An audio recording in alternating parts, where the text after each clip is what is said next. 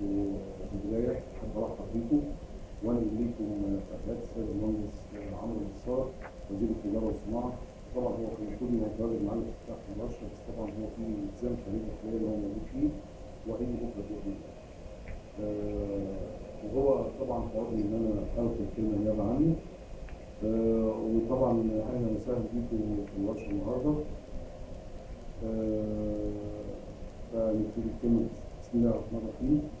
لي في البداية أنقل لكم من السيد المهندس عمرو نصار وزير التجارة والصناعة وأن ألقي كلمة بالنيابة عن سيادته ولولا ارتباطه بالتزام خارج البلاد خلال هذه الفترة لكانت أشرتنا فعاليات هذه الندوة التي تنظمها الهيئة المصرية للمواصلات والطرق. آه، بالتعاون مع منظمة الأيدي العالمية والوكالة السعودية للتنمية والتعاون الدولي سيدا ضمن أنشطة مشروع تعزيز البنية التحتية فيما يتعلق بالمواصفات والتشريعات ودعم التجارة والصناعة الأيدي 2 ستار.